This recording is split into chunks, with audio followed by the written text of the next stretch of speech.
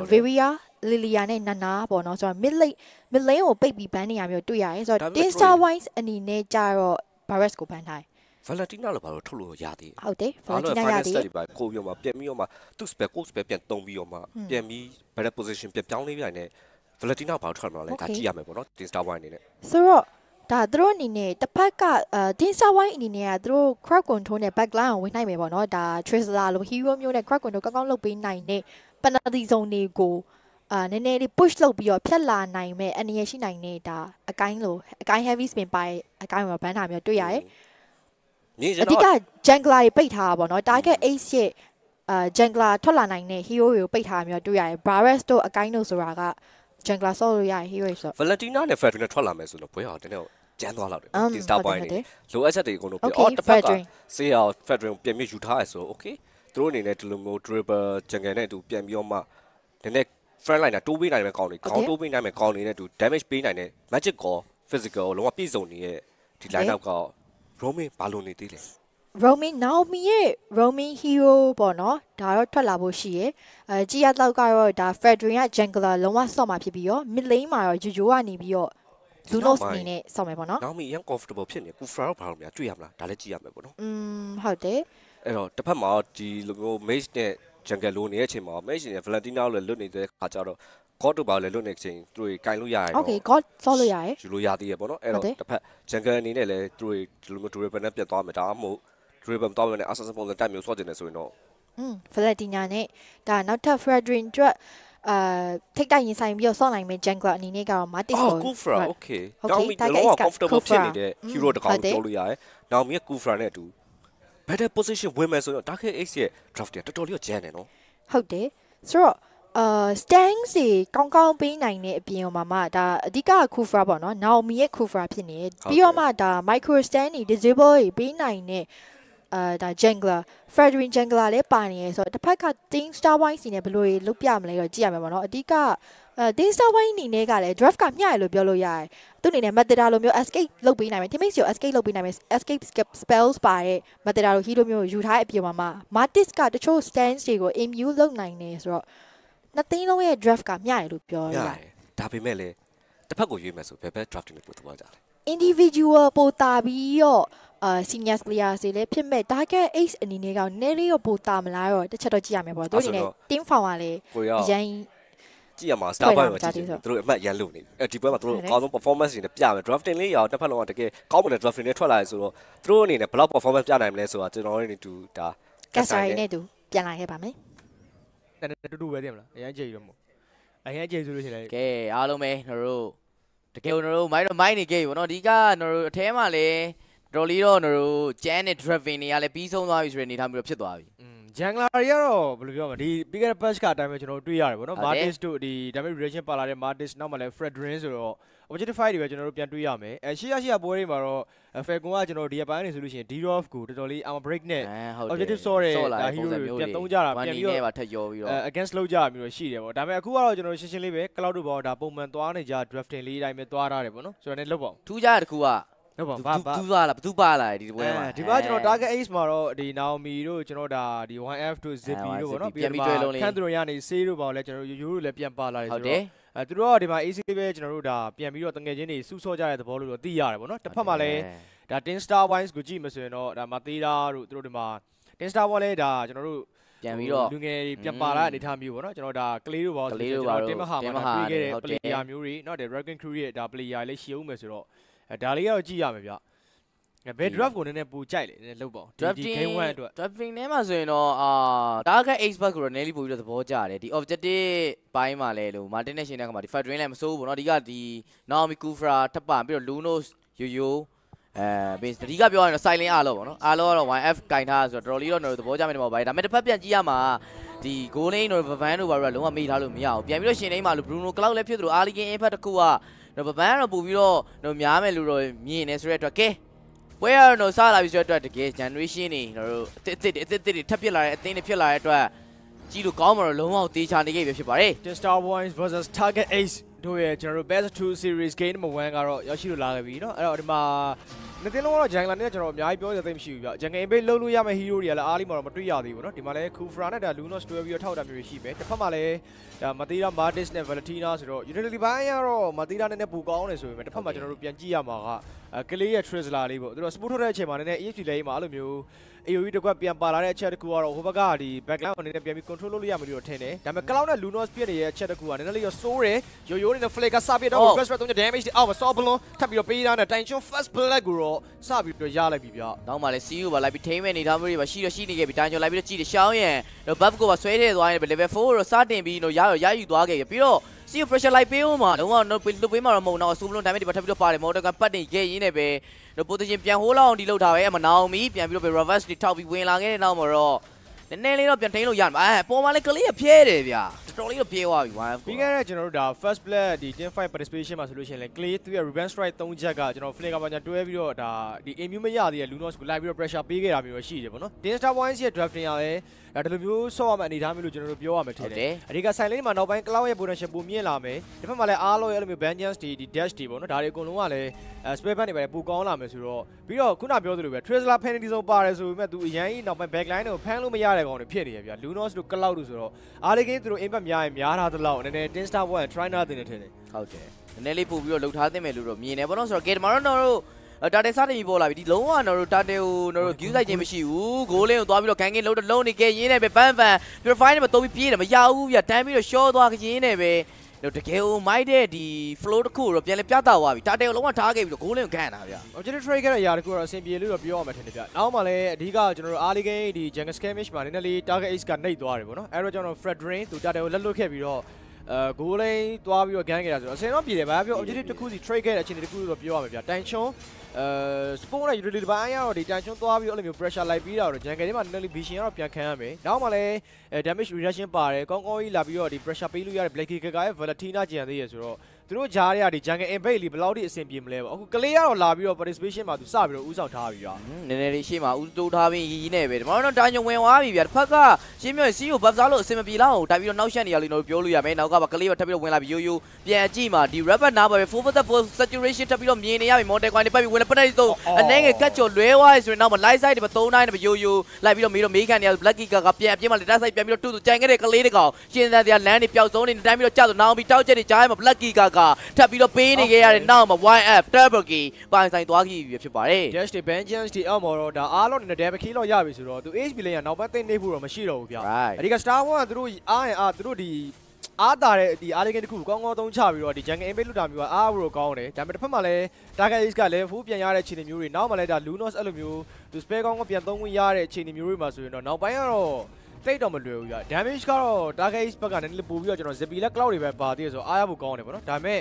အဲဘန်ဘန်က early game သူနည်းနည်းတားတယ်ဆိုပေမဲ့သူတခါတော့ gan ခံထားရတယ်ဒီချက်ကတော့ goal line match မှာကျွန်တော်တို့ cloud အရင်နှိပ်ပါသွားမှာတော့မဟုတ်တော့ဘူးရတခုတော့ရှိမှာနော်ဆိုလုံးဝနေမှာတော့မယ်နေသားမျိုးတော့မဟုတ်သေးတဲ့အတွက်အဲစောင်းတော့ကြီးရအောင်ပါပဲဒီအားလေးကိန်းတစ်ခုမှလည်းဒီနောင်မီလိုက်ပြီးတော့ round ပေးလေးရတာအစတော်တော်လေးတော့နော်မိုက်တာမျိုးလည်းတွေ့ရခုနကဆိုလေ blacky ကဘာညာဘောနော်ပြန်ပြေးတဲ့လမ်းကနေပြန်ထိန်းပြီးထားတာမျိုးတွေ hero ကပြန်ရသွားတာလေးကဒါ affect ဖြစ်မယ်လို့တော့မြင်နေအဲနောက်ထပ်နော် second ဒါတယ်လေးရတယ်ထပ်ပြီးပေါ်လာတော့မယ်ဆိုတဲ့အတွက် side lane မှာလည်းဖြစ်နေသလိုတစ်ဖက်ကနော် 1F ကိုကလေးရောလာပြီးတော့ join မဲ့ပုံစံလေးတွေလည်းတော့မြင်တော့မြင်နေရအောင်ပဲ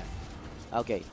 ကဲအဲ့မှာကူဖရာဘောစမောလေးတော့ဒီနောက်မင်းနဲ့ပြန်သွားဖို့ရှိတယ်ဗျအဓိက Fred Ray ခုမှ buff စားတော့မယ်ဆိုတော့အဲ့ဒါ buff ပဲသူ့မှာရှိနေတော့ဆိုတော့လည်းကျွန်တော်တို့ဒါတရောနောက်ကြမယ်ထင်တယ်ဗျအဓိကတန်ချွန်းတောက်လျှောက်ပဲသူ့ရဲ့ utility ဘိုင်းကိုကောင်းကောင်းသုံးချပြီးတော့အားလေးကင်း minute တွေမှာတကယ်အလုပ်လုပ်နေရပေါ့နော်ကလေးလက်လာပြီးတော့ပေါင်းပေးရတယ်ဆိုတော့ဒီတာတွေကိုရောက်ဖို့သိမလို့ second target ကိုလည်း tin star boys objective တွေတောက်လျှောက်ကိုရယူထားရင်းနေပဲ ဒါ target ace အနေနဲ့ရောသူတို့ objective တော့သိမရသေးဘူးဗျဒါပေမဲ့သူတို့ကလည်းဒါကျွန်တော်တို့အမ်အဲ့လိုမျိုးပေါ့သူတို့ရဲ့နည်းနည်း damage ထွက်လာမဲ့အခြေအနေမျိုးတွေသူတို့ရဲ့အချိန်နေချိန်ခါတစ်ခုရောက်လာမဲ့အနေအထားမျိုးလေးပေါ့နော်အဲ့ဒါလေးတွေတော့ပြန်ဆောက်ရမယ်ပြန်တော့ဆောင်းမယ်မ final ဆက်ရိုက်ထည့်ပလိုက်တော့ရှောင်းရဲ့အထဲတွေဝင်သွားပြီဘယ်လိုတော့တူးမှမထပ်ပြီးတော့မိတယ်နောက်ကဘောတက်ကွန်ပြက်ပြီးပြန်အပြေးမှလည်းစီလိုက်ပြီးထင်းနေတယ်ဆိုပေမဲ့လည်းပဲတိတ်ပြီးတော့လွယ်ကူမနေခဲ့ဘူးဆိုပေမဲ့ mobility ပိုင်းအားကောင်းနေခဲ့တဲ့နောက်မှာတော့ရှောင်းရဲ့ပြေးတဲ့လမ်းနေနည်းနည်းလေးတော့ရှားတော့ရှားနေကြမှာတော့ stand ပြန်ပြီးမော်တက်ကွန်ကွတီတုံထားတဲ့အတွက်နည်းနည်းလေးတော့ကက်လွတ်သွားတယ်လို့ပြောရမယ်ဗျာ မော်ဒခွန်ရောတော့ Martis Model ရှိတယ်အခုချိန်ကြီးကတော့ Jungle Invade လုပ်တဲ့အရာတစ်ခုကတော့အစင်တော့ပြင်းနေသေးပဲပေါ့နော် Sales စီကနေပြီးတော့သူတို့အဲ့လိုမျိုးအဲ buff လေးပါလေပြန်ရတာမျိုးလေးရရှိတယ်ဗျဒါပေမဲ့တကယ်တကယ်ပြန်ကြည့်မယ်ဆိုရင်လည်း Tin Star Points က objective တွေရတယ် early game မှာလည်းဒါပြိုင်ဘက်ရဲ့ buff ကိုတွားပြီးနှောက်ထားနိုင်ခဲ့ရဆိုပေမဲ့အရန်ကြီး network gap မှာရှိနေခဲ့တဲ့အခြေအနေတစ်ခုတော့မဟုတ်ဘူးဗျဒါကနည်းနည်းလေးတော့ကျွန်တော်တို့စိုးရိမ်စရာကောင်းတဲ့အချက်တစ်ခုလို့ပြောရမယ်သူတို့ early ဘက်များတဲ့အချိန်မှာ early impact ဒီရရတော့ယူထားနိုင်မှာပဲအဆင်ပြေပါပဲမလို့ရှိရင်တော့နောက်ပိုင်း Lunos Cloud နဲ့ရလीကျွန်တော်နည်းနည်းလေးစိုးရိမ်မိတယ် Star Boys ကိုဒါကအဲ့က flow ကိုတွေက air time ပေါ့နော်လေကိန်းနဲ့လေးလေးသွားပြီဆိုတာနဲ့တို့ရဲ့ဒီအဆွေတွေကိုပြရမယ့်အချိန်တစ်ခုဆိုတာရှိလာလိမ့်မယ်အဲအချိန်ကျရင်တော့နေလေးပို့ပြီးတော့သတိထားလာမယ်ဒီထားလို့ပြောရင်းနဲ့ပဲနောင်မီထပ်ပြီးတော့ဝင်သွားတယ်ဒါပေမဲ့နောက်က Bruno ကန်ချက်တွေကပြန်လာတယ် Flick ကပါပြန်သုံးပြီနောက်က IG ရဲ့ Shadow Strike တွေပြန်ပြီးသုံးတယ် Luno ရဲ့တို့ Dust Side တွေပြန်ပြီးယူထားရဲ့နောက်မှာတော့တိတ်လွယ်ပါမနောက်တော့ပြန်အပြေးမှာတော့တို့ Dust Domination ခွဲချက်နဲ့ damage short သွားလို့ Light Side ပြန်ပြီးတော့ရိုးရိုးသုံးတယ်ဒါပေမဲ့သူကတိတ်တော့မလွယ်တော့ဘူးကွာနောက်က Light ကြည့်မှာ Flick ကတစ်ကွက်ရှိနေတဲ့အတွက်ကန်ကောင်းသွားတယ်လို့ပြောရမှာပဲ ဂိုးလင်းခံငယ်တခုကကလောက်ပါနဲ့သွားပြီးတော့ ZP နဲ့တိုင်တော့ပတ်သွားတယ်အဓိကဒီရန်နေလိုက်ရတော့မှသူနည်းနည်းလေးတော့အဆင်ပြေသွားမှလို့ထင်တယ်ဟုတ်တယ်တော့သွားပြီး lane ကတ်လို့ကြိုးစားနေကြတဲ့ခိုက်တဲ့တခုပါတော့ကလောက်လဲသူ first tower design တော့စပြီးတော့ပြီးထားရတယ်လက်ရှိမှာလည်းဒါ silent ရဲ့ first tower တွေပြန်မရသေးဘူးဆိုတော့ကလောက်နေနဲ့ space ရဖို့ကလည်းခက်တော့ခက်အောင်ပဲဗျပွဲချင်း6မိနစ်နောက်တဲ့2မိနစ်3မိနစ်ဝန်းကျင်လောက်ထိတော့အနည်းဆုံးတော့10 star wines အနေနဲ့ဒီတိုင်းပဲသူတို့ရဲ့ potential ထပ်ပြီးတော့ထိန်းထားဖို့တော့လိုတယ်အဲဂျန်ကမှာလည်းကျွန်တော် 4v1 လောက်တော့သွားတော့သွားနေပေါ့နော် clay ရလည်းပါတယ်ဆိုတော့ဒီတက်တာတယ်မှာလည်း5 man participation တော့သွားမှာပဲဗျဆိုတော့ ဒီ target target ace အနေနဲ့ဒီတက်တာတွေကိုစပြီးတော့ try တော့ try နေပြီသူတို့ရှင်းမှာလည်းနှစ်ခါလောက်ထိတော့ပေးထားပြီးဟုတ်ဆိုတယ်တော့လေသုံးချိန်လောက်ဆိုရင်တော့အဆင်ပြေမှာမဟုတ်တော့ဘူးနော်မ reverse နဲ့တိုင်ချုံပြေးပြီးထိန်းဖို့ကြိုးစားရတယ်ဗျ cycling ကပတ်ထားရကြတော့တိတ်တော့မလွယ်ဘူး penalty တော့ four man ကလေးပြေးပြီးထိန်းတော့နောက်က damage ပေးချက်တွေရ right time ကြားနေခဲ့သူ final လက်ရိုက်ချက်တွေကောင်းတယ်ဆိုရင်နောက်က YF ပြန်ပြီးတော့ no survive လုပ်ပေးထားတယ်ဆိုပေမဲ့လည်းပဲ hero k 3កောင်မှာကြားတယ်တာတဲ over 10 star point ထပ်ပြီးတော့ရရှိအောင်ပါပါဗျာ တာကအေးစင်တွေတော့နောက်ပြီးဘယ်တစ်ဖုန်းမကြိုးစားခဲ့ရဆိုပေမဲ့ကျွန်တော်တို့အရန်တော့မရောက်ဘူးရှေ့မှာလည်းထိုင်ထိုင်ချွန်းရဲ့ spare casting နဲ့သူသွားနေခဲ့တဲ့ sense ကတော်တော်လေးကောင်းတယ်လို့ကျွန်တော်တို့ပြောရမှာပေါ့နော်အားဒီ game မှာဒါသူ့ချစ်သူ့လက်ပဲ jungle aim ပဲလုပ်ပြီးတော့ clay နဲ့ကျွန်တော်တို့ဒါတွဲဖက်ထားရတယ်ပေါ့နော် clay ကလည်းဒါ spare casting တော်တော်လေးတည်တတ်တယ်ပေါ့လေ penalty zone 4 man လောက်ထိမိသွားတယ်ဆိုတော့နောက်ပိုင်းပြီးတဲ့ damage တိတ်တော့မခံနိုင်ဘူးဗျ now a cap အာကွာလာခဲ့တဲ့ chat ကူတော့ tin star mines အနေနဲ့လည်းပူတော့ကောင်းလာတယ်ပေါ့လက်ရှိမှာလည်း buff ကိုတောက်လျှောက်ကိုသူတို့ rush တော့ rush နေရပဲဟုတ်တယ်တော်တော်လေးတော့ no pressure ပေးနေတဲ့အထဲမှာရှိတယ်အဲ့ဒီမှာဆိုရင်တော့ဂျန်ဂလာနှကောင်မှ level 10လောက်ထိဖြတ်ပြီးကွာသွားပြီပေါ့နော်ရှောင်းရ level 10လောက်ထိဖြတ်သွားရမယ်တော့မြင်ရမယ် player ကိုမှတော့ Vavan ထိတ်ဆုံးမှာရက်နေခဲ့သလိုတော့ damage ဂျိမ်းမှာတစ်ဖက်ကတော့တိုင်ချုံမှာတော့တို့ damage အများဆုံးပဲတို့ပေးထားနေတယ်သူရဲ့ solo damage တွေအများဆုံးပေးထားနေတယ်ကျွန်တော်မြင်တော့မြင်တွေ့နေရပြီဆိုတော့ကဲအာဒီလားတော့တို့မြင်တဲ့အတိုင်းမတင်းစတာပွဲက Hero K ဘိုင်ရော Noah ဘိုင်ရော 3.2K လောက်ထိတော့တို့အားသာချက်ရှိနေတဲ့အတွက် Ali Impact ကတော့တကယ်ကိုသူတို့ရဲ့ draft အတိုင်းအလုပ်သေးသေးချာလုံနိုင်နေတယ်လို့ပဲပြောရမှာဗျာ Haskell Basket Fury ဆိုတော့နည်းနည်း Bruno ကတော့နည်းနည်းကန်ကြလေးတော့ပိုကောင်းလာမှထင်တယ်ဗျတစ်ဖက်မှာလည်း Corrosion Sight နဲ့ Demon Hunter နဲ့ဆိုတော့စိုးတော့မစိုးဘူးပေါ့နော် Golden Step လေးသူထပ်ပြီးတော့သွားဖို့တော့လိုလိမ့်မယ်နောက်မှလည်းဒါ Cloud ရဲ့ potential လေးကျွန်တော်ပြန်ပြီးတော့စောင့်ကြည့်ရမှာဖြစ်တယ်လို့ Adam Buff ကိုလည်းတစ်ဖက်မှာတော့ဒါတိုင်ချွန်းစပြီးတော့ဦးဆောင်တဲ့ Tracer Pin ပြီးဆိုတော့ Wednesday မှာ 1F သူနောက်ကပြန်4ရတဲ့ခိုက်တဲ့တစ်ခုပေါ့နည်းနည်းလေး buff ရဖို့တော့ကြိုးစားနေတယ်ဆိုရင်တိတ်တော့မလွယ်တော့ဘူးဗျာဒီ objective 5မှာလည်းတစ်ဖက်က Martis နဲ့ရှောင်းဝဲပြန်ပြီးတော့ final step ပါတော့ပဲဒီကောင်နဲ့ energy damage တော့မ Blacky Cat ကပြန်ချသွားခဲ့တဲ့ခိုက်တဲ့တစ်ခုမှာတော့တစ်ဖက်က Tin Star Wine ပြန်ပြေးဖို့တော့လိုနေခဲ့ပြီနောက်မှလည်း Chen တွေကဒီကောင်နဲ့ Clay down the field Vanyas ဒီအောက်မှာ dash ထပ်ပေးတာအော် Guiding Win မှာ3 man 4 man ရှောင်းဝဲဖြတ်အပမှာ Yo Yo တန်းကြတယ် Mega K by Martis ဘန် Kuvra Terrorist everything weapon backline control 3 man ထိုင်ခဲ့ပြီနောက် backline အောက်မှာရှောင်းရတန်းကြတယ်ဗျာ final step မှာ YF2 man ထပ်ပြီးထိမိတဲ့ damage အောက်မှာ Zippy ပြစ်ချက်တွေတကယ်ကိုများပြားနေကြတဲ့ခိုက်တဲ့တစ်ခုမှာကျန်နေခဲ့တဲ့ဘန်မောက် Kuvra Revenge တွေနောက်က Boss Ball တွေ Guiding Win ပြန် save သွားနိုင်ခဲ့တဲ့ခိုက်တဲ့မှာနောက်ကပြန်ပေးထားရတယ်ဗျ Clay front line damage taken and this penalty တောက်လျှောက် tin star point ထပ်ပြီးတော့လှုပ်ပြနေသေးပါပဲ save ပြသွားတော့လုံးဝတောက်လျှောက်တောက်လျှောက်ဆိုသလိုမိုင်းနေခဲ့ရင်းနဲ့ပဲ cloud ကတော့ mega tower မရမကပြန်ယူဖို့ကြိုးစားတယ်ဆိုပေမဲ့ valentina ပြန်လာအရောက်မှာတော့နော်ထင်သားဆိုတော့ try လို့မလွယ်ခဲ့ဘူးပေါ့နော်ဆိုတော့အခုချိန်မှာတော့နှစ်သင်းလုံးရဲ့နော်ပြိုင်ဆိုင်မှုကတော်တော်လေးတော့နော်ခက်ထန်တာမျိုးနော်တွေ့ရမယ်ဗျဒီတောက်လျှောက်ဆိုတော့ခုနလည်းနော်နာအိုမီတစ်ဖက်ကနော်ဇစ်ဗီယိုတောက်လျှောက်နော်မာတင်လိုက်ခွဲတာယူပြန်စစ်ပေးသွားတယ်ရာအစဒီတိကျလုံးအောင်နေဗျနော် ကလင်းကတော်တော်လေးကောင်းတော့ကောနောက်ကောမှင်းတယ်လည်းတိုင်ချုံးအနေနဲ့သူအဲ့လိုမျိုး spare casting ပြန် damage taken လုပ်ပေးခဲ့တဲ့ chat တစ်ခုကလည်းတော်တော်လေးမိုက်တယ်ပေါ့နော်အဓိကကဒီနောက်မှာကျွန်တော်တို့ဆေးရအဲ့လို3 man Abrida War Tree ပဲပြန်ပေးခဲ့ရဆိုရင်ထိုင်ချုံး guide ဝင်နေရကျွန်တော် battle မှာနှစ်ခါလောက်အနည်းဆုံးစိနိုင်ခဲ့တဲ့ chat တစ်ခုကတော်တော်လေးတော့ကောင်းသွားတယ် ဆိုတော့မလိုက်ပစ်တာကြီးလေရန်တော့မိုက်တယ်မှန်ငယ်ငယ်ကလောက်ထပ်ပြီးတာပြစ်နေမယ်ဆိုရင် तू မပြန်မဲနဲ့ထပ်ပြီးပြစ်လို့ဆိုဗန်ဗန်ကန်ချက်နဲ့ तू ကြောက်သွားဖို့များတယ်အဲနားမှာလေနောက်မှလည်းဒီ Bruno ရဲ့ damage က critical strike နဲ့ဒီ live steal ပို့ပြီးတော့များလာခဲ့တဲ့အနေအထားမျိုးကိုကျွန်တော်သွားပြီးတော့တွေ့ရမယ်ဒီ first block position ရတော့ target ace သူတို့စပြီးတော့တာလာခဲ့ပြီဆိုတော့ခိုက်တဲ့တစ်ခုပါနောက်ကနေပြီးတော့ YF လေပေါ်လေးမှာဟိုးရပဲတန်ချုံကလည်း saw balloon နောက်မှလည်း guiding win နဲ့ journey ကဦးမယ်ဆိုတော့ tin star ပဲခါပဲ cycle e ကထပ်ပြီးတော့ပေးရပြီနောက်မျိုးတိုက်ဖြတ်ဖို့တော့ကြိုးစားနည်းနည်းလေး end ရများတယ် pin this on backline damage အမတော့တန်ချုံတောက်ရှောက်ဝင်လာခဲ့ guiding win ထပ်ပါလာခဲ့ပြီလေတစ်ဖက်က target ace အနေနဲ့ပြန် forward ပြအောင်လမ်းမှာလည်း ZP နဲ့ second tower ထိပါထပ်ယူဖို့ကြိုးစားနေနေပဲ tin star boy snowball နဲ့ type တစ်ခုတော့ထပ်ခံရဖို့တော့ရှိနေဟုတ်ပြီတယ် slow အိုး mega lane ကိုရောက်နေပြီပြ ZP UI တော့တော်တော်လေးများသွားမယ်လို့ပြောလို့ရပြီ7 minutes ဆိုတဲ့ diner တစ်ခုရှိရတော့ mega ရှိတော့ကြံနေသေးတဲ့အတွက်တိတ်တော့လွယ်မှာတော့မဟုတ်ဘူးကလေးကိုလည်းပြန်လာထောက်ထားကြမှာဒါတော့မှသွေးတော်နည်းနည်းလေးပဲကြံတော့တာဗျလောဘူတဲ့ရှင်ရဲ့လုံးဝတော့ target ace ဘက်ကအပြေးဝရရှိထားသလိုပဲတော့ cycling ကပတ်2 man stand လိုက်ပြီးတော့ပြီးတဲ့ရိုးရိုးကြီးကြက်တွေကြာမှာကောင်းနေကြလို့ရှောင်းရအောင်ဘက်က YF ကိုအရင်တော့ဖြတ်ဖို့ကြိုးစားနေတာဒါပေမဲ့တာတဲ့တော့အပီလို့တော့ဆက်ပြီးတော့ကြီးဖို့ကြိုးစားရင်းနဲ့ပဲ retribution ကစီးနဲ့ရှောင်းရံဘသူရသွားမှလဲကျွန်တော်စောက်ကြည့်ရအောင်မယ် retreat အော်စီးရသွားတာ ကမ္ဘာရှောင်းရန်တောက်ရှောက်ပေးထားခဲ့ damage တွေတစ်ဖက်ကမအရင်မခံတော့ဘူးပြယူယူပြန်တော့ Trisla penalty ဆို flicker မှာ clay 2မှာတခါပဲ save မှာထက်ချရတယ်ဘန်ဘန် David King မှာ clay တောက်ရှောက်ပါလာခဲ့ damage တွေအောက်မှာတော့ 1F ပြန် forward အောက်မှာ 2B1 နဲ့သွားပြီးစီပင်းကြီးငယ် damage တွေအောက်မှာ saw balloon တွေထပ်ပေးထားတဲ့ Blacky Kaka ထက်ချသွားခဲ့နောက်မှာတော့ Zippy ရဲ့ cloud damage တွေများနေခဲ့ဆိုပေမဲ့ဘန်ဘန်ပြန်ပြီးတော့ရောက်ရှိလာခဲ့တဲ့ခိုင်တာတစ်ခုမှာတော့ cloud ပြန်ပြီးတော့ forward fall back ရအောင်ပဲဗျာနောက်မှတော့ဆိုးလုံးမှာ live ပြဖို့စူးစမ်းနေဆိုပေမဲ့တစ်ဖက်ကတော့စပီပြန်ပြင်းလဲတာရှင်တိတ်မလွယ်ဘူးကွာအဲ့ဒါကြောင့်မို့နည်းနည်းလေးတော့ပြန် forward ချမှာတော့ရမရှိသေးပါဖြတ်ပြီးတော့တင်နေဘန်ဘန်ကိုခေါ်လာပြီးကန်ချက်တွေလုံးဝလန်တွက်နေတယ်ဆိုပေမဲ့သွေးနည်းနည်းလေးကတ်ကြတဲ့နောက်မှာ 1F live ပြီးအဆုံးသက်ချက်တွေတော့ပြန်လဲပြီးခံနေရတော့မှာပဲဗျာ ဟိုလုံးဝ battery ကတော့ overheat နဲ့လုံးဝဖြစ်တယ် space ချန်ချန်တော့သူတို့လို micro stanley နဲ့အတူပဲနှစ်သင်းလုံးကတော့ down shot ဆိုသူတို့ hiruki ရဖို့ကျူတော့ကျိုးသွားတယ်ဗောနော် final slash dash ဒီ ban dash အောက်မှာ ban ban mana regeneration လုံးဝတော့မရှိတော့မလား Naomi ထောက်ထားခဲ့တဲ့ damage အောက်မှာအရန်ရောသူ out of range တော့ဖြစ်နေပြီဗျဒီ law ဒီလေ first law ဖြစ်နေကြတဲ့အနေထားဖြစ်တဲ့ target ace အနေနဲ့အရင် push လို့တော့မရဘူးဒါပေမဲ့ second turret လောက်ထိတော့သူတို့ထပ်ပြီးတော့ try လို့ရပါဦးမေမေကာတော့ second turret ကိုယူဖို့တော့ကြိုးစားတယ်။ရှောင်းရံတော့မပေးချင်တဲ့ဘောမှရှိတယ်။လာပြီးတင်းချင်တယ်ဆိုပေမဲ့တစ်ဖက်က Lunos ကောတော့နာအိုမီဘာညာကိုပြက်ကြီးချက်တဲ့တော့ second tower ရသွားပြီဆိုမေကာ3လိမ့်မဲ့ကျန်တော့ပြင်နာအိုမီဖြတ်ပြီးတော့ဝင်သွားတယ်။ရန်ကြီးတော့စင်ပြေမနေခဲ့တယ်။နောက်မှလည်းထပ်ပြီးတော့ကျွန်တော်ကြည်ပေးသားဆို model ကပတ်ချက်တွေပါတော့ခံစားနေရရင်းနဲ့ပဲ zippy ဝင်းချက်တွေပါတော့ပြီးသွားပြီနော်ဇီဘီဝင်းချက်ပြီးသွားနည်းနည်းတော့အစင်တော့ပြေလာဘူးရှိတယ်။ဒါမှမပြန်ပြီးတော့ကြည့်မယ်ဆိုလို့ရှိရင်လည်းထိုင်ချွန်းရဲ့ saw blow နဲ့နောက်မှာ blacky ခကာရဲ့ arcane shadow strike တွေလည်းပြန်ရှိအောင်မယ်ဆိုတော့ အဲ magic defense ကနည်းနည်းလေးတော့လိုနေမလားဗောနော်ဒါပေမဲ့သူနည်းနည်းလေးမျိုးတစ်ဖက်ကဒီ YF တို့ Naomi ရှိမှလောက်ကလေးပြမယ်ဗောနော် final slash တွေ cool fry ဒီ time reach တွေ bounce ball လေးတွေနဲ့ဖန်တီပေးရတဲ့အရာမျိုးတွေနောက်ကလိုက်ပြီးတော့ blender judo လိုက်ခွဲမယ်ဆိုရင်တော့စိုးတော့မစိုးဘူးဗျသူမှလည်းအဲ့လိုမျိုးအဲ golden step တွေဒါနောက်ထပ်ပြီးတော့ပြီးသွားပြီ win nature လည်းထပ်ပြီးတော့ပြီးလာပြီဒါပေမဲ့တစ်ဖက်မှာလည်းပြန်ပြီးတော့ကြည့်မယ်ဆိုရင်တော့အာ Bruno ကလည်းထောင်လောက်ထိတော့ပြန်နှိပ်လာတယ်ဗောနော် Malefic Raw နဲ့နောက်ထပ် သူ Alex Battery ပါများသွားမလားနည်းနည်း mana regeneration တွေပဲဝယ်ထားပြီးတော့သူအဲ့လိုမျိုး win on nature ပဲထပ်သွားမလားဗောနော်ဒါလေးတော့ကြည့်ရမယ်ဗျလက်ရှိမှာလည်း Zippy ရဲ့အခြေအနေချိန်ကတခုတော့ကျွန်တော်တို့ပြန်ပြီးတော့ရောက်လာပြီနောက်မှလည်း objective တွေအတွက် dead side ဒီ chaos တွေပြောင်းတဲ့ချိန်မှာ damage အရင်များတဲ့ Lunos လည်းကျန်အောင်မယ်ဆိုတော့ clear ရဲ့ spell cast နဲ့ damage taken ကဒီ late game မှာ10 star points အတွက် တကယ်တော့အရေးကြီးလာလုံးဝအရေးကြီးလာပြီသူတီးကြရင်တီးကြသလိုနောက်ကပြန်ပေးမနိုင်မဲ့ damage တွေကလည်း right တိုင်းကြားဖို့များတယ်ဘာလို့တိုင်ချွန်းကပြန်ပြီး cycling ရက်ပတ်မှာလည်း Gaining Way line မှာနဲ့ဆိုရင်ဒါလုံးဝတော့အဆင်ပြေနိုင်မဲ့အနေထားမျိုးမြင်နေရတယ်ဒီကဒီအားလီမှာလုတ်ပြသွားသလိုပဲပနေဆို4 man တော့3 man အဲ့လောက်ထိတွေတောက်လျှောက်တော့ထပ်ပြီးတော့ဒီပေါ်လာမဲ့ lot battery ဒီမှာလုတ်ပြနိုင်မယ်ဆိုရင်တော့ကျွန်တော်တို့အခွင့်အခါကောင်းတွေဖြစ်လောင်ဖြစ်ကောင်းဖြစ်လာနိုင်တဲ့ဆိုပေမဲ့တစ်ဖက်ကကျွန်တော်တို့ပြောလို့လိုပဲဗျလေ game damage တခုရောက်လာတဲ့အခါမှာ Zippy နဲ့ရိုးရိုးရှိရပေးလာတဲ့ damage တွေကိုလည်းတစ်ဖက်ကတိတ်ပြီးတော့ခံနိုင်မှုမရတော့ဘူး အဲ့တော့10 star 1 3ရဲ့ဒီ front line control ကနည်းနည်းလေးကျွန်တော်တို့ဒီ front line damage တိုင်းကလောက်ရမယ်ဗတဲ့စားရမယ်ဆိုတော့ clear အနေနဲ့ position လေးတော့တော်တော်လေးတော့ကျွန်တော်တို့အဆင်ပြေမှတော့ရလိမ့်မယ်ပေါ့နော်သူရဲ့ decision making ကလည်းဒါ10 fight battle တခုကောင်းကောင်းကြီးတော့အဆုံးဖြတ်ပြီးသွားနိုင်မှုတော့ရှိလိမ့်မယ်နောက်တိုင်ချွန်းအနေတော့ပြတယ် guide ထပ်ပါလာပြီ clear နဒီဆို နံပါတ်3နောက်က back line damage ကအရင်ပါမလို့ control နဲ့နောက်မှာလည်းခါပဲ lunos damage ထပ်ပေးတော့ကြိုးစားနောက်မှာလည်း YF ထပ်ပြီးတော့ forward naomi ပြန်ထွက်လာဖို့ two man terror damage တောက်ချောင်းများနေက mortar choir မှာဝင်သွားကြတဲ့ shot အရင်မရောက် clear ထက်အကြမှာ zippy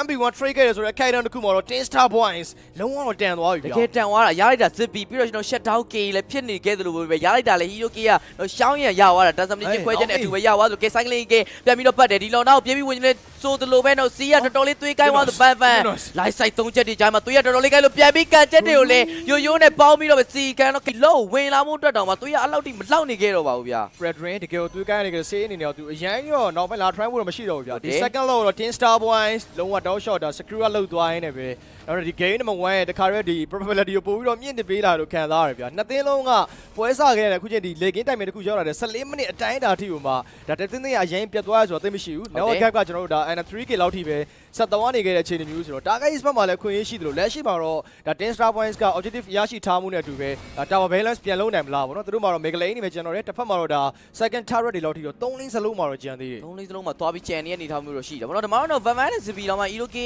တော့ခုနတစ်ချက်ပြန်ရသွားတဲ့အတွက်ဗောနော်နောက်တော့တိတ်ပြီးကွာတဲ့အနေထားမျိုးမဟုတ်တော့ဘူးဗျဆိုတော့900ဝင်းကျင်လောက်ပဲကွာရတယ်ဒီချိန်မှာလည်းတော့17မိနစ်ဝင်းကျင်တခုဖြစ်လာတဲ့အထိနောက်က 1.5k ဂိုးလီလောက်ပဲတော့တင်းစားပွဲအားသာထားတဲ့အတွက်ဒီပွဲတော့လုံးဝတော့အမြင်ဆုံးဒီ high အောင်ဆွဲတင်သွားမယ်ပွဲတစ်ပွဲဖြစ်ဖို့တော့တေချာလို့နေဖြစ်နေခဲ့ပြီဗျအခုချိန်ထိကိုနှစ်သင်းလုံးရဲ့ပြန်ဆိုင်မှုတွေကလုံးဝတော့ပြင်းထန်နေသလိုမျိုးပဲကဲအောက်မှာလေးတော့ viewer milestone giveaway လည်းထပ်ပြီးတော့ရှိနေခဲ့သေးတာပဲဖြစ်ပါတယ်ကဲ view ကတော့ကျွန်တော် 20k ရောက်ဒီနေ့မှာတော့တခါတည်း hit တော့ဖြစ်ခဲ့ရေပေါ့နော် dash မှာလည်း 25k ရောက်မယ်ဆိုလို့ရှိရင်နောက်ထပ်ဒီမှာကျွန်တော်တို့အဲ 1030ကထပ်ပြီးတော့ရောက်ရှိလာမှဆိုတဲ့အနေအထားမျိုးတော့ဖြစ်လာလိမ့်မယ်တစ်ဖက်မှာလည်း Tin Star Wine တစ်ချိန်တည်းမှာလည်းကျွန်တော်တို့မေဂလိန်လေးရရှိဖို့ကြိုးစားနေပြီ second lock ဝင်ရရတယ်ဆိုတော့ Yu Yu ရဲ့ damage ကနောက်ပိုင်းတကောလီ KOs ကများတယ်ဆိုတော့ရတယ် objective တွေပြန်ပြီးတော့ defend တဲ့နေရာမှာရော minion wave တွေ lane clear လုပ်တဲ့အချိန်မှာရောအဲတော်တော်လေးတော့ဒါမြန်မြန်ဆန်ဆန်ရှိတယ်ဆိုတဲ့အနေအထားမျိုးတော့ကျွန်တော်တို့သွားပြီးတော့တွေ့ရမယ်နောက်အဓိကသူတို့မှလည်းအဲ့လိုမျိုးဒီ Tin Star Wine ကိုကြည့်မယ်ဆိုလို့ရှိရင် sport room မှာဖြစ်နေရပေါ့နော်ဟုတ်အတယ်ရန်ကြီး pick off potential သိပ်နည်းနည်းလေးနည်းနေရဆိုတော့ အဲ clay ရဲ့ Trizla ပဲပါတယ်ဆိုတော့အခိုက်အတန့်မျိုးတွေမှာသူတို့ high ground အရန်ကြီးခေါင်းတို့ဆိုင်လို့တော့သိပ်မရအောင်တိတ်တော့မတစ်ဖက်ကအဲ့လိုမျိုး target ace ကိုနည်းနည်းဒီ team fight battle တွေကိုနည်းနည်း jungle လောက်ထိပြန်ဆွဲခေါ်မှာပဲရမှာထင်တယ်ဟုတ်တယ်အဲ့လိုပုံစံလေးပြန်ဆွဲခေါ်မှာပဲသူတို့တက်ပို့ပြီးတော့ကောင်းလာလိမ့်မယ်လို့တော့မြင်နေတယ်ဒီမှာတော့ Okay, တောက်လျှောက်ဆိုလို့ catch on. တင်းချောက်ပဲတော့ dive ပါပဲဗျ cycling ကနေလိုက်ပြီးတော့လိုက်သွားပြီးကလေးတစ်ကောင်ပါသွားရဲဆိုမှရန်ကြီးတော့ dive တယ်မလှုပ်သေးဘူးဗျဒီကသူတို့ရဲ့ low cut တစ်ခုအနေနဲ့ final slam မှာရှောင်းရံပါလာပြီးပရိသုံး one man တိုင်းပြီးဖမ်းမိတာတဲ့ကလေးအကောင်းဆုံးကြည့်နေဆိုမှတော့ cloud pitch တွေမှာပြန်ပြီးတော့မကန်နိုင်ဆို blade choice damage တွေထပ်ပြီးတော့ဝင်လာပြီး fan man တစ်ကောင်မှာညက်ရင်းနဲ့ပဲ shut down K ရိုးရိုး damage နဲ့ထပ်ပြီးပေးလိုက်ရပြီပဲဖြစ်ပါတယ် Tin Star Wine ပြန်ပြီးတော့ fall back လုပ်ဖို့လိုအပ်နေကြတယ်ဆိုတော့ character တစ်ခုမှာ dark Naomi ace တောက်လျှောက်ပါလာ Naomi flaker မရှိနေအောင်မ Oh! flaker အဲ့ဒီမှာ doom matterish Naomi dash တွေအောက်မှာတော့ရှောင်းရင် blacky kaka တမ်းပြီးတော့ကြာသွားရတယ်ပဲ target ace သူတို့ရဲ့ tandem ဘွဲတစ်ခုတော့ပြင်လဲပြီးတော့ဖန်တီးသွားနိုင်ခဲ့ပါပြီလုံးဝ9ရောက်လုံးရှိနေတဲ့အတိုင်းမှာတစ်ခုမှလုံးဝကိုတိတ်မလွယ်တော့ဘူးဗျာဒီကနှကောင်နဲ့နဲ့တခါတည်းပဲတို့တမ်းပြီး try try 1လို့တော့ရတော့တယ်ရိုးရိုးပြေးပြီးတော့ဝင်ပြတဲ့တိုင်းချို cycling ကပတ်တဲ့လေးပေါ်မှာနေပြတ်ဖို့ဟာလုံးဝကို just နေများနေခဲ့တယ်ကလေးဝင်လာပြီးတော့ stand ပေးတာကပြီးတော့ကပတ်တဲ့ဆို2 man 3 man ထပ်ပြီး day finals နဲ့ light side တွေမှာပြန်သုံးနေတယ်ပဲ throw only ပဲဝင်ပြလို့ရိုက်လို့ရနေခဲ့တဲ့အနေအထားမျိုးမှာ5 man တက် white ကောက်နဲ့အတူပဲ free weight ကပါမလာတဲ့အတွက်အရင် try လို့မရသေးဘူး my gosh လုံးဝ target ace တကယ်ပဲ wide up ဘက်တစ်ခုဖန်တီးသွားနိုင်ခဲ့တယ်ဆိုတော့ချင်းတစ်ခုမှာ Tin Star Wine ကန်တရတော့သူတို့ဘက်မှာတော့ရှိနေသေးတယ်ဗျ minion wave တွေတောက်လျှောက်ပါလာခြင်းမရှိဘူးဆိုတဲ့အခြေအနေမျိုးမှာတော့ target ace now different မှာ 2.4k goal leading ထပ်ပြီးတော့ရှိလာခဲ့တယ်ဆိုပေမဲ့နောက်ထပ်နောက်ထပ် lord တစ်ချိန်ပြန်ပြီးတော့စောင့်ရပါဦးမယ်စောင်းအောင်မေဒီလောနဲ့ပဲအဖြေဖြုတ်သွားမယ်ထင်တယ်အမှန်တကယ်လုံးဝ free weight သေးလေးတစ်ကောင်ပါလာရင်တော့ပျောက်သွားမယ်အနေထားမျိုးဒီမှာ tension ကရားတော့သူ cycling eagle တွေ guide win တွေအကုန် Right. ပြီးတာပြီးတော့သူလုံးဝ delay လုပ်ခဲ့တဲ့အနေဒါတခုကျွန်တော်တို့သွားပြီးတော့တွေ့ရပြီပေါ့နော်လက်ရှိမှာလည်းဒါ Tin Star Wine ရဲ့ late game ဒီ team fight participation ကိုကျွန်တော်တို့သွားပြီးတော့ကြည့်မယ်ဆိုရင်တော့ရှေ့မှာလည်း cycling eagle guide win နောက်ကနေပြီးအဲ့လိုမျိုးဒါ clay လိုက်ပြီးတော့ penalty zone လိုက်ထောင်းနေဆိုတော့ဒါ battle combination တခုကျွန်တော်တို့သွားပြီးတော့တွေ့ရတယ်ဒါပေမဲ့တစ်ဖက်မှာလည်းသူတို့နည်းနည်းလေးအဲ့လိုမျိုး battle စပြီးတော့စချတဲ့အချိန်မှာနည်းနည်းကျွန်တော်တို့ဒါ position လေးပြတ်သွားတယ်သူတို့အဲ့လို spare gas နဲ့လွဲချော်မှုတွေရှိတဲ့အချိန်မှာ Naomi ရဲ့ flicker revenge ဒါ tire revenge တွေပဲပြန်ပေးတဲ့အနေအထားမျိုးမှာဆိုတော့ target ace ကဒီအချက်ကိုကောင်းကောင်းပြီးတော့ခွင့်ရေးပြန်ယူသွားတယ်ဗျာဆိုတော့ all in mega ပေးထားခဲ့ရတယ်လို့တက်လို့လို့ခွင့်ပြုထားတဲ့ Tin Star Boys ခက်ခက်ခက်ခက်ပြန်ပြီးတော့ defend ရပါဦးမေးသူတို့ရဲ့ defense တစ်ခုကဘယ်လောက်ထိတော့မှမိုက်မလဲဆိုတော့နည်းနည်းတော့စောင့်တော့ကြည့်ရမယ်ဒါပေမဲ့ဒီလောက် defense ဘိုးကတစ်ဖက်ကမြင့်နေတဲ့တန်မိုတစ်ခုနဲ့တို့ပေါင်းပြီးကြည့်မယ်ဆိုရင်တော့တိတ်ပြီးလွယ်ကူတဲ့အနေအထားမျိုးတော့မဟုတ်ဘူးဒီမှာတော့ Blacky ကကလူနိုရဲ့ note side တစ်ခုပဲပြန်ပြီးတော့ယူလို့ယူပြထားတဲ့ကလေးဒီနေရာမှာသူ့ရဲ့လောက်ကွက်တွေအများကြီးထွက်ဖို့လိုအပ်သလိုနောင်မရဲ့ကွန်စီးပြောက်ပြီးတစ်ဖက်ကပတ်လိုင်းကိုတော့ပတ်လာဖို့တော့ကြိုးတော့ကြိုးစားနေ final set တွေကြားမှာတခါတည်းပဲတိုင်ပြီးတော့ပါသွားတဲ့ yellow flash နောက်က damage ပေးကြမှာလုံးဝတော့မကြသေးဘူးပြန်နောက်ကနေတော့ Abrasive strike ပြန်ပြီးကြည့်ပေးတဲ့ကြားထဲမှာပဲတခါတည်းပဲ light side တွေမှာသုံးရတဲ့ throw only ပဲဝင်ရိုက်ခွဲချက်တွေကြားထဲမှာ target 8 game number 1ဝင်းသွားပြီပဲဖြစ်ပါတယ် target ace လာလုံးဝတက်လို့လည်းရှိတက်လို့